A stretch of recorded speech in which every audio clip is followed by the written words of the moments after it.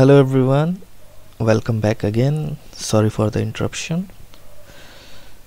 Uh, as I'm using a free version of uh, mm, the recorder that's why it's having maximum time is 5 minutes so I think it exceeded. Okay no matter. Now the question is what here? Let's resume the class.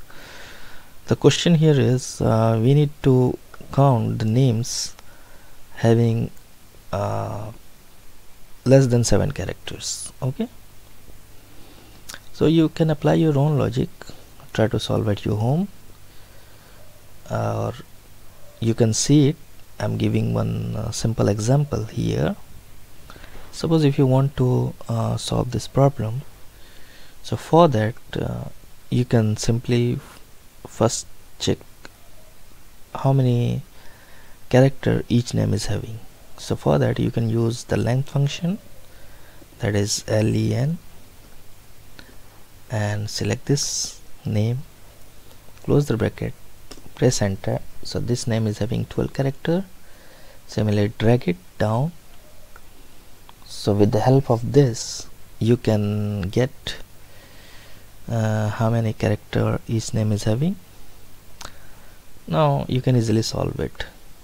Now you can check how many names are less than 7 character or equal to 7 character?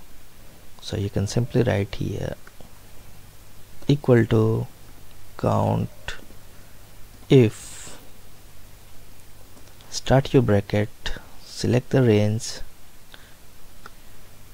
put a comma then double quote and just write let's say less than equal to 7 press enter so you got eight names which are having seven or less than seven characters. So let's check. One two three four five six seven eight. So you got eight names which are having seven or less than seven characters. Similarly you want to know how many names are having more than let's say 20 characters. So simply you can write it here count if select the range put a comma start double quote greater than 20 and probably you'll get 0 because you don't have any number more than 12 itself similarly you want to know how many character how many names are having more than 10 characters or equal to. So simply write count if. Select the range comma then double quote greater than equal to 10 close bracket and press enter. You got 2 that is this and this so this is one logic you can apply or you can have your own logic because our ultimate aim is to solve the problem.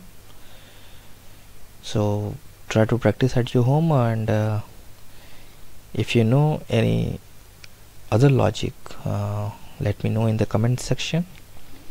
So thank you very much. Thank you